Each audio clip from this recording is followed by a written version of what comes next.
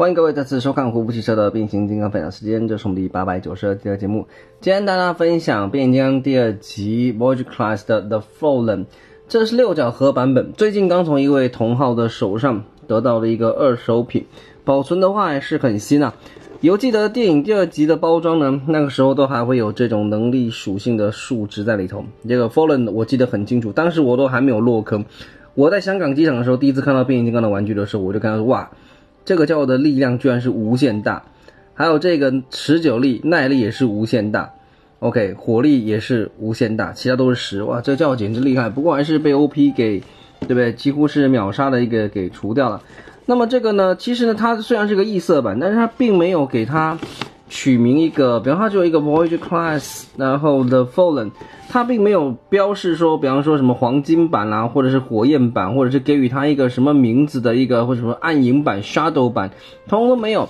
一样的话，它的名字一样是 The The Fallen，并没有注明其他的配色的版本。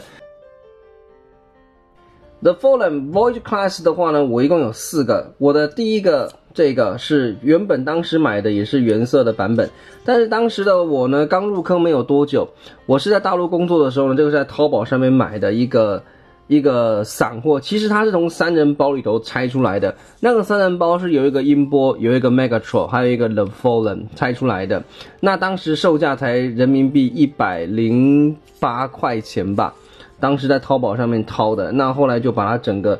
呃，自己做过一个上色了，整个全部都上过颜色，也上过保护漆啊。那这是我拥有的第一个 The Fallen。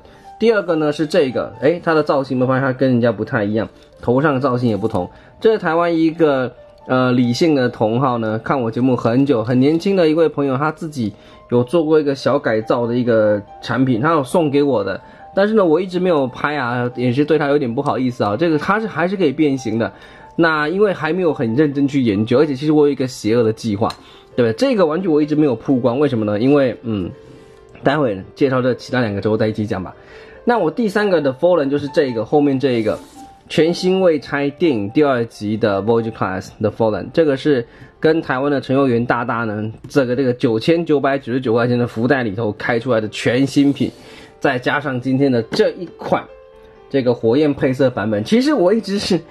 一定会有人说，胡夫奇像你知道还有紫色版本，戴着面具拿着权杖的版本。这这个我当然知道，但是呢，错过它了。它的价格现在已经飙过它原价的两倍，这个基本上是已经违背了我收玩具的一个原价呃的一个价格的上限。所以呢，我宁可错过，也不要去追那么贵的玩具。那么刚刚提到说这个为什么我一直迟迟没有曝光？因为我一直。梦想着我要收集七个 V 级的这个，对不对？然后可能都会改个颜色稍微改造一下之后呢，对，组成电影二的这个这个所谓的远古至尊七人组之后呢，再来拍一集。但是呢，这个愿望可能是越来越渺小。堕落金刚的三个 V 级配色里头呢，它的评价普遍来讲是比较差的。第一，它相较于最初的版本呢，并没有做任何的改模，也没有新增加配件。那么呢，它的一个配色本身呢，确实也是胶感比较重，而且一体性来讲呢，反而被破坏掉。它原本的一个配色的整个一个乌漆抹黑的一个样子呢，可能还更加的邪恶一点。它的这种橘红色呢，其实胶感可以说是蛮强的。以电影系列玩具里头来讲，这个胶感的排行榜要算是排到前方啊。尽管盒子的一个。插图来看的话还有看头，但是玩具的实体呢，确确实是不怎么样。而它的现在这个样子，是我觉得呢，比较还原电影里头的一个变法。怎么个说的一个变法呢？它的这两条腰边呢，就多出来这两块部件，它是可以跟这个手臂这个地方呢做一个结合的。这个呢，在官方公布的这个 CGI 里头呢，多罗金刚的这个手这里确实是连着这个，包括在电影里头呢。它在金字塔的顶端呢，高举权杖的时候呢，你都可以看得到，它这个部分呢是有连过来的。但是，一旦呢，呃，松开之后呢，把这个地方是推到后方去，这样子手的话呢，才可以有一个比较正常的一个活动范围。你如果是这样子扣上去的话呢，基本上手是完全没有什么可动性的。所以说呢，在包括它本身这个盒子的后方也是印着说是把它给这样推到后方去，这样子的话呢，无疑有一个比较好的一个活动的一个。范围，再来则是它的盒子的后方呢，它印着的是把这一块部件呢，这里它这里有一个红色的透明件，那这里是有一个上下推移的一个，你往上推的时候呢，它会把它夹住，它基本上呢会卡住。你看有一边能卡住，那么另外一边的话，不知道为什么稍微卡不太到，无所谓吧。那你如果把它往下面推的话呢，它就会完全的会弹达到一个弹开，后方的弹簧呢就会把它整个的像是散吸一样的这个部分把它给弹开。这个是它本身这个盒子的后方，它是以这种变法呢来做一个呈现。我个人是。呃，如果你是原色版本，这个图还有点明显，但是因为它这个配色呢，本身这个已经是橘红色，这两个部件呢弄出来的感觉好像不是那么显眼。那如果是我的话啦，我会给它做这样子的摆放，因为它这个配色已经跟原色不一样，我会尽可能就干脆给它做不同区分的一个放法。多罗金刚在电影系的 V 级里头算是体型很大的一个。以第四集的 V 级的这个隐蔽科部门跟它相比，它已经是 V 级里头比较高挑了。但是跟这个家伙相比，身高略逊很多筹，宽幅也差上非常的多。其实从侧边来看的话呢，这个 Fallen 呢也并不会显得单薄，所以它的一个分量来讲，可以说非常的大。而这其中呢，有一大部分呢要归功于，也不能讲归功啊，它的这个腿这一带。脚掌这块部件等于是多出来的一块部件，它整个身高来讲有一个很大的一个垫高，而这也是它这个玩具一个很大的一个卖点。它这个脚底板呢，它是有一个弹簧的一个机制，这样压下去它会缩起来，在变形成飞机的时候呢，它会自动的有一个缩起来的一个机制。这个跟电影一 Voyage Class 的这个 Megatron 是完全一样的。再来，它身上呢还有一个卖点，就是它的这个透明件的部分呢，这里。也是可以做一个收起来或者是打开，这个是看你个人喜欢的一个摆设。那么呢，这个配色的情况下呢，因为它这个橘色的部件呢，会让细节呢显得非常的肉，看得不太出来，这也是它比较被扣分到的一个点。那后方的话，看到很多的 螺丝钉，全部都集中在这边，你不注意看还不不不不不觉得怎么样，你一旦集中一个看之后，你就会发现其他的通通通通通。好像弹孔一样，通通都露出来。那他的话呢，手上呢有一个，呃，意欲不明的一个东西哦。这一块手甲这个部分呢，我也不知道呢，它是变形成飞机的时候要提出来，还是说在人形下呢？它这个是有什么特别的一个装置？它就是可以放下来。但是我个人觉得呢，意义真的是不是说非常的大。再来是它的一个可动度的话呢，算是还算是中上啊。首先头的话呢。很遗憾，只能够低头看，往上看而已。而且这个部件如果收进去的话呢，感觉呢会比较利落一些。那手臂的话呢，三六零度旋转没有问题的。那么呢，这个手臂的话呢，这块部件可以往内往外翻。那么呢，这里手臂还是可以往上面举高的，变形的时候呢会用到。那还是可以在上方呢做一个这样子旋转的一个非常飞旋的一个老头子啊。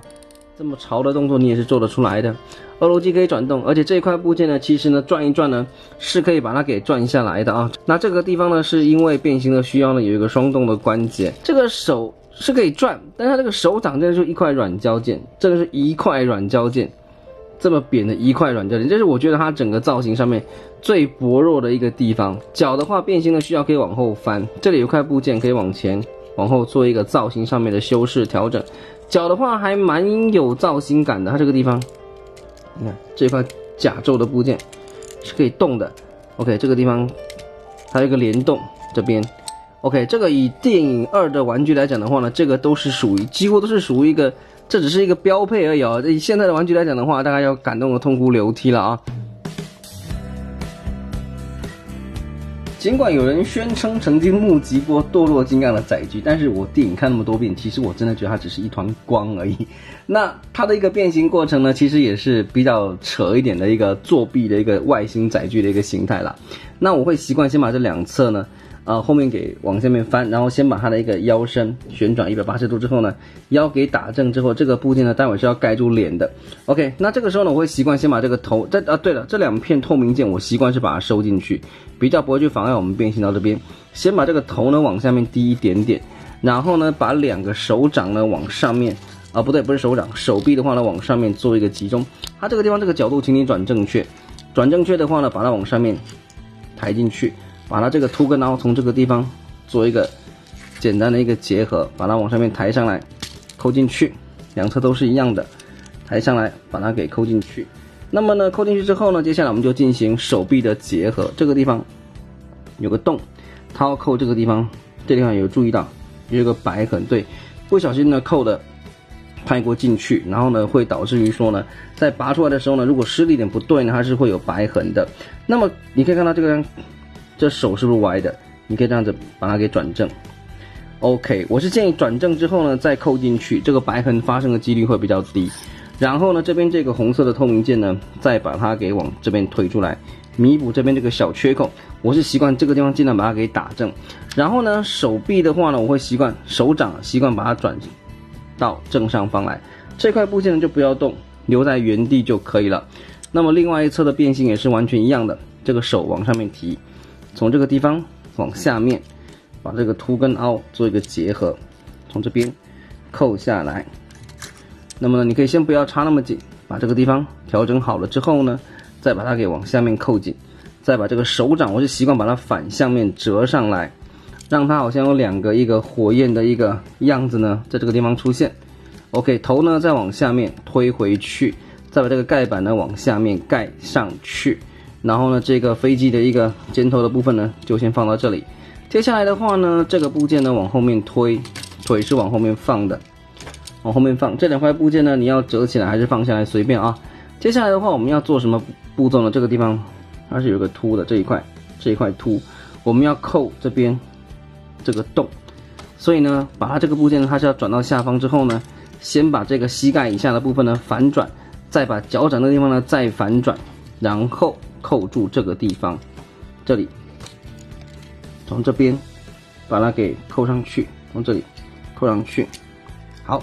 那么这个地方呢，相同的一个状况，因为它这个插槽比较长，但是那个洞呢，其实还蛮紧的，还蛮紧的，所以呢就小心一点。哎，这个地方转了转，它就这样可以转下来的啊。这个，OK，监视到就行了。好，到这边，然后呢旋转这一块膝盖这个部件，再把这个脚掌的部件呢再转出来，然后呢我们要做的呢就是把它这一块跟这里做一个结合，把它给扣上去。那扣的时候还是一样，请不要扣得太深入，不要扣得太嗨。然后这两块部件呢，刚不小心已经把它给扣出来了，两个起落架的部分，以及飞机前方这里也是有起落架的。那么呢，这两块部件你是要竖起来还是放下去？这个是看个人的偏好。那么我习惯是尽量把它给摊平吧。然后呢，这个地方有两个这个可以动的部件，呃，既然是已经是邪恶的反派吧，就尽量把它这个。有一些侵略性的一个尖爪部分，尽量把它给弄出来喽。那么呢，这个就是我们的 The Fallen 呢，从一个邪恶的至尊金刚变形成一台诶这个外星战斗机的一个变形过程。这个外星载具的话呢，胶感会显得更加的强烈，而且非常的破碎。这个配色真的是在这个形态下呢，确实是不如其他的两个版本。不是说它本身多烂，你跟现在的玩具相比，它还是非常好的。只是呢，自己跟自己这个系列去相比的话呢，它这些橘色的部件其实是整个破坏的美感度破坏的还蛮大的。但这样看起来感觉好像还挺华丽，甚至说，呃，这个你可以给它做一些其他的各种三变，因为网络上也有很多人什么，呃，野兽形态或者各种形态呢都有做出来，那这个感觉真的是。对不对？好像整个冒冒着火焰在飞行的一个载具的一个形态。那因为它本身有一个支架的关系呢，所以放在桌上平放的话还是没有什么问题。那收起来的话呢，这个往上面收，这个侧边不收好像没什么差别。对，这个，而且呢，我我个人的习惯是这样子，把它往后面放。以及刚刚忘了提这一块部件呢，这个原本连接腰身跟手臂的这个软胶部件，我会把它当成是后方的一个。呃，水平的一个尾翼。那具体来讲的话，这个玩具一体性其实出遇到之后还是挺好，因为它扣的还是蛮 OK、蛮紧的。但是我扣的时候，我是建议你不要硬，不要死压。那它还原成人的时候呢，这个什么角度进去就什么角度出来，比较安全，以免这个卡扣有断掉的疑虑。那总体来讲的话，也电影第二季的玩具就不用再多做太多的赞美了，一定是非常漂亮的。但是这个顺便就拿出来亮相一下吧。这个 l o f o l e n 的玩具这是传奇级的，以这个配色，你看这一体性来讲的话，这个我没有加其他涂装哦，没有，它本来玩具就这个颜色，对不对？放在这个桌上就是非常非常有质感的一个感觉。那么这一款的话呢，不愧是堕落金刚危级三人众里头，不愧是评价对比较弱的一个，确实是有它一个被大家诟病的一个毛病，胶感真的是太重了啊，胶感太重。那变形也就是那么回事。电影第二集的玩具呢？诚意度各方面来讲还是比较够的，但是价格来讲现在都已经比较贵了。那目前在重新要推出的这个呃电影系的玩具里头，目前是没有看到的 Fallen 了哦。那所以说呢，这个玩具基本上呢，如果你有看到，觉得喜欢，价格还可以的话呢，入一个来玩玩，毕竟也是一个 BOSS 级的人物吧。那今天呢就跟各位进行到这边，谢谢各位的收看，我们下期再见，拜拜。